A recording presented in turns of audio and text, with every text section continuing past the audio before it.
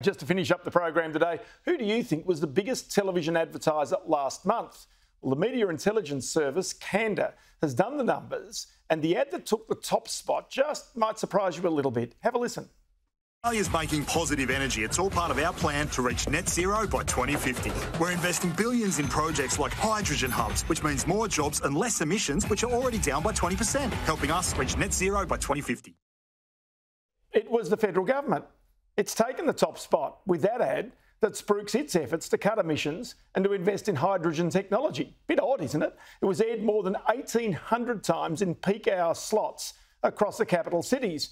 Now, with an election being called any day, we can expect to see many more political ads, of course. That's not the last of them, not by a long shot.